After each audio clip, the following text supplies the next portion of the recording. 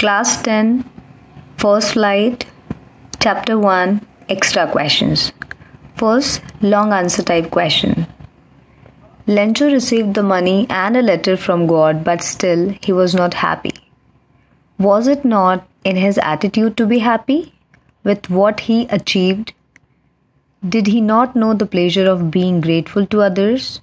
Reflecting on the values required to lead a happy life, explain the question. Let's see the answer. Lencho had full faith in God and hence had written a letter to God asking for 100 pesos. But when he received the money and a letter from God, he was not happy. It was not his attitude to be happy with what he received, nor was he ungrateful to God. He was angry because he had received 70 pesos instead of 100. He did not doubt God for it. He wrote another letter to God asking him to send the rest of the money, but not through the post office as they were a bunch of crooks. This shows that Lencho had full faith in God and was confident and assured that his desire would be fulfilled.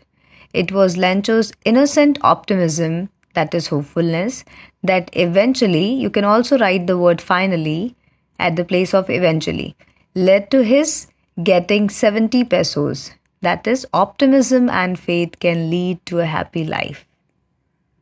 Question 2. The postmaster represents such people who still believe in helping others.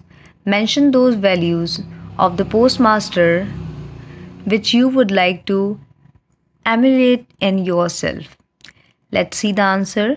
The postmaster was a kind, generous, a person who has readiness to give something, helpful, amiable that is friendly, and God fearing man.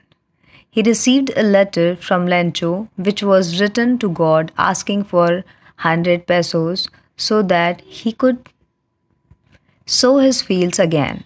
The postman felt sympathetic towards Lencho. He decided to help Lencho. He gave up a part of his salary and asked all other employees to help. Even friends were made to contribute to the cause of charity. And he managed to collect 17, 70 pesos. He sent the money to Lencho along with the reply. He did so in order to preserve the man's faith in God. This shows that the postmaster was a nice man at heart.